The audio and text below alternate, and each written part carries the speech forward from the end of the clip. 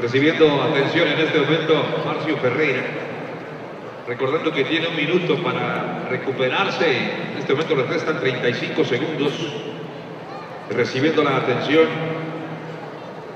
Marcio Ferreira, quien va perdiendo, por cierto, en este primer round. Dos puntos contra cero. Ya se reincorpora. Y el aplauso es para Ferreira, que ya se encuentra listo para continuar.